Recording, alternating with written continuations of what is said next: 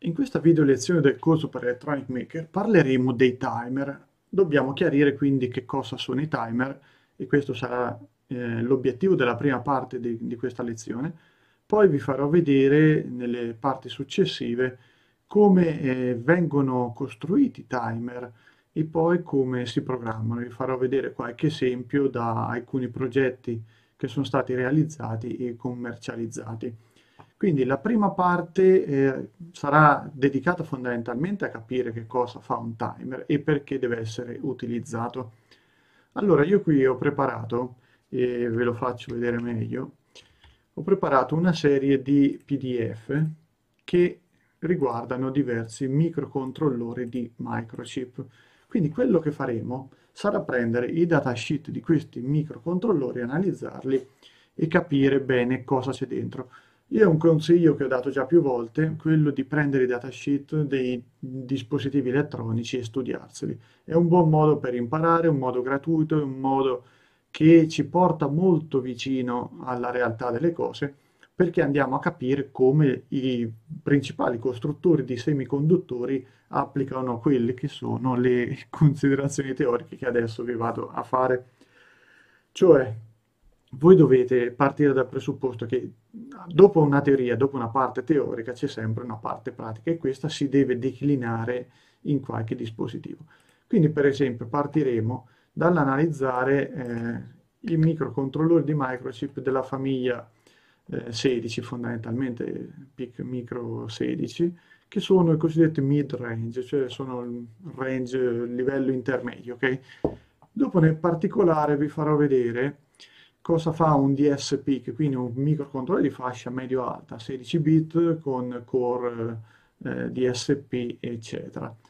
Però prima passeremo per un micro decisamente più semplice, il PIC 12F629 o il 675 sono molto simili, poi capiremo come. E eh, prima di arrivare al DSP parleremo anche di qualcosa del 18F, andremo un po' per passi. Allora, innanzitutto, torniamo qua, io qui ho preso questo manuale di Microchip ovviamente, vedete che eh, è bello corposo, sono 688 pagine. Quindi un'altra cosa che dovete fare se volete imparare un po' di elettronica è mettervi nell'ordine di idee di, di studiare tanto. Ci sono tante, tante informazioni da conoscere e quindi dovete eh, sicuramente perdere un po' di tempo. Allora, vedete qua i capitoli sono tutti ben evidenziati, ci sono Già per un micro di fascia bassa, io direi fascia bassa, all'epoca quando fu realizzato questo documento era il 1997, quindi era un mid-range, adesso questi sono di fascia bassa e quindi erano già 688 pagine. Può essere paragonato al micro montato su Arduino 1, ok? Il livello è quello lì. Allora, andiamo a vedere qua nel dettaglio come sono fatti i timer. Allora, partiamo dal timer 0. Vedete che nei manuali viene sempre indicato, eh, questo è il reference manual, tanto per essere precisi, viene indicato un po' un percorso da seguire per apprendere il funzionamento. C'è quindi una parte introduttiva, ci sono i registri di controllo, i modi di, di lavoro, la gestione degli interrupt o degli interrupt, vedremo. Poi c'è eh, come praticamente si può utilizzare il timer con un clock esterno. Cos'è il prescaler? Alcuni suggerimenti per il progetto, le application note, eccetera. Okay? Quindi andremo per passi. Adesso passiamo eh, dalla parte chiacchierata alla parte introduttiva vera e propria e andiamo a vedere eh, qua, ok, qual è lo schema blocchi tipico di un timer. Perché dico tipico? Perché poi ogni costruttore declina l'architettura come meglio preferisce. Però questi di microchip io li ritengo molto ben descritti, quindi i manuali messi a disposizione gratuitamente da microchip secondo me sono un buon punto di partenza per comprendere eh, molto nel dettaglio come lavora un timer.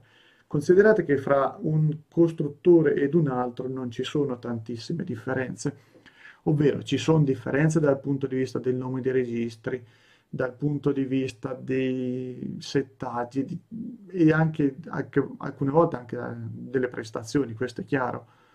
Però quello che voi apprendete studiandone uno può essere molto facilmente migrato su, uh, sul prodotto di un altro fornitore, di un altro costruttore. Quindi quello che andiamo a vedere sono le caratteristiche di base, le funzioni di base che sicuramente troverete nella stragrande maggioranza dei timer all'interno dei microcontrollori. Ok? Perché stiamo parlando di questo, stiamo parlando dei timer all'interno dei microcontrollori. Quindi la cosa fondamentale è capire perché li andiamo ad utilizzare. Allora, vedete qua che il timer può essere per esempio ad 8 bit. Ok? Quindi dovremmo capire cosa si intende per 8 bit, ma anche che cosa si intende per counter, perché generalmente un timer, cioè un modulo timer all'interno del micro, non è detto che possa lavorare solo ed esclusivamente come timer.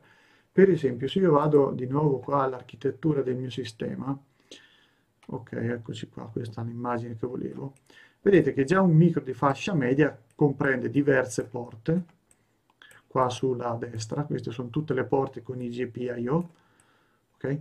Poi c'è ovviamente la parte di calcolo con la ALU, eh, il registro dell'accumulatore, c'è la EPROM, ci sono eh, il bus che porta poi alla RAM, program counter, l'indirizzamento diretto, indiretto, ci sono tante, eh, tanti blocchi all'interno che fanno funzionare il nostro microcontrollore. Ma sostanzialmente quello che ci interessa sono per esempio le periferiche. E vedete che i timer fanno parte delle periferiche quindi in questo livello di microcontroller avremo per esempio tre timer quindi timer 0, 1 e 2 poi ci sono i convertitori analogico digitale code compare, eh, capture compare in PWM i comparatori le porte seriali sincrone asincrone eccetera eccetera quindi noi adesso ci focalizzeremo su questa parte qua. Perché? Perché quando noi andremo a scrivere il programma per il nostro microcontrollore, eh, dovremo per esempio far avvenire delle cose ad un certo intervallo di tempo, oppure dopo un certo tempo. Okay? Oppure dovremo per esempio contare quanto è durato un impulso e quindi non lo possiamo fare generalmente con del codice, lo dovremmo fare in hardware. Quindi la prima cosa da capire è che il timer va ad assolvere dei compiti in hardware, non li fa attraverso il software, cioè è proprio una periferica che lavora in parallelo alla mia CPU e quindi va a fare dei compiti specifici liberando il carico alla CPU, cioè riducendo il carico a cui è sottoposta la nostra CPU. In questo modo noi faremo un tipo di programmazione un po' diversa, non utilizzeremo per esempio la funzione delay, che molti conoscono soprattutto se vengono dal mondo Arduino, ovvero una funzione che fa sì che il nostro eh, microcontrollore segua delle operazioni nulle, cioè delle operazioni senza far nulla, cioè perda tempo, ok? Questo in genere non è bello, non è voluto, non è gradito e quindi è meglio utilizzare un, un, un timer.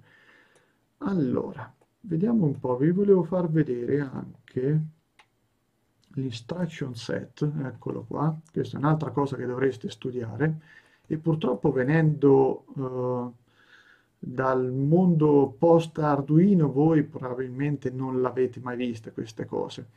Quindi quello che vi voglio far vedere è che per esempio esistono fondamentalmente tre tipi di, eh, di operazioni, le byte oriented, le bit oriented e le literal and control operation, cioè sono diversi tipi di operazioni e tra queste qui ovviamente troviamo la NOP. Ok, eccola qua, no operation.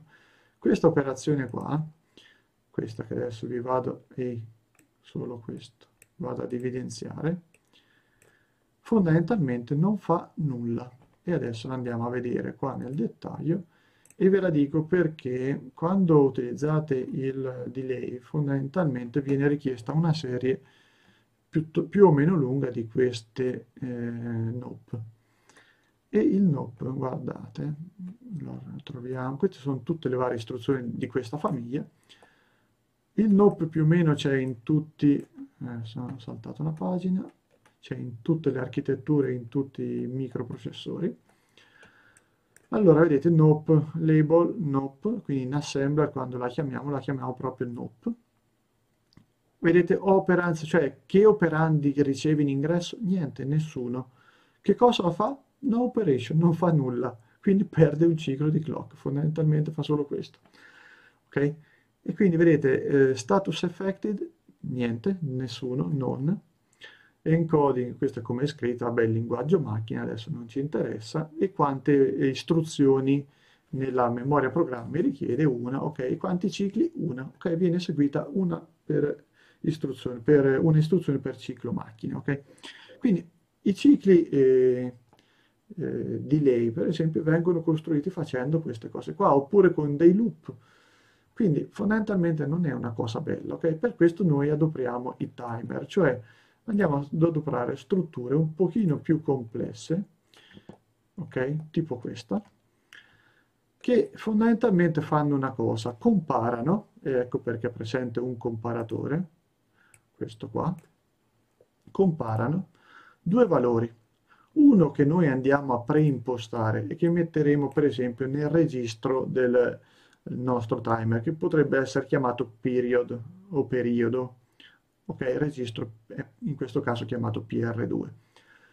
Cosa fa il comparatore? Compara questo numero, che potrebbe essere 100, 1000, 24, 800, 10.000, lo decideremo noi, con un altro valore, questo qua, che viene invece incrementato, ok? Incrementato con un certo rate, con una certa velocità che noi decideremo, da una serie di circuiti elettronici. Quindi la prima cosa da capire è come funziona il timer. Noi andiamo a comparare il valore che noi preimpostiamo, per esempio in questo registro nel PR2, con un altro valore. Quindi per esempio se qui mettiamo 100, questo TMR2 register che cosa farà? Inizierà 0, 1, 2, 3, 99. Quando arriva a 100, questi due sono uguali e viene per esempio generato, vedete qua, un flag di interrupt. Okay?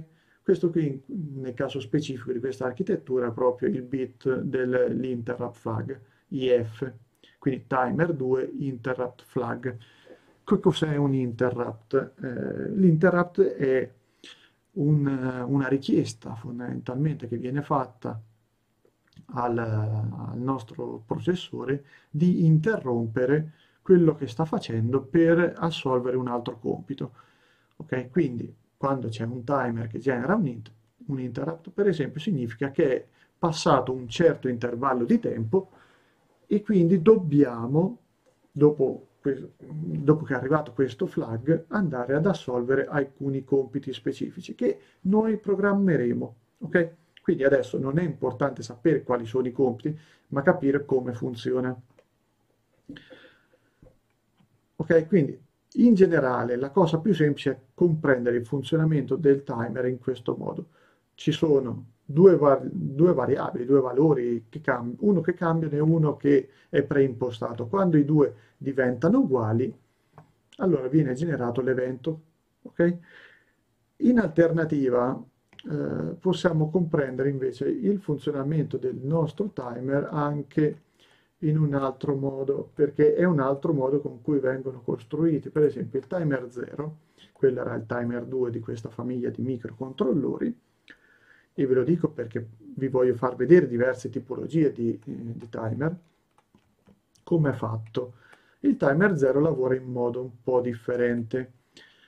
Qui vedete non c'è un, un, comparatore, non c'è un altro registro, ma c'è semplicemente il registro del timer. In questo caso si chiama TMR0.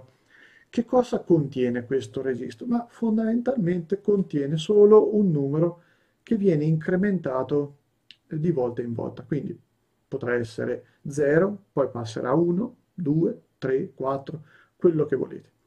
Oppure potrà essere eh, preimpostato ad un valore che noi decideremo, cioè quando è che viene generato il flag di interrupt? Questo qua.